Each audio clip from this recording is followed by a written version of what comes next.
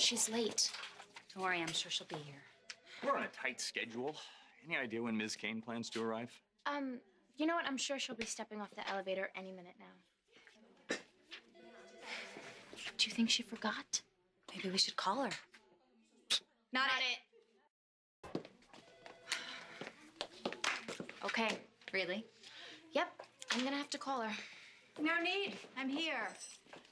Hello. Mr. Lavery be joining us for your interview. No, not at all. No, this is my personal project. Thank you. In case you wanted to take a look at some talking points that marketing sent up? I know what I'm going to. Nothing fazes that woman. Ever.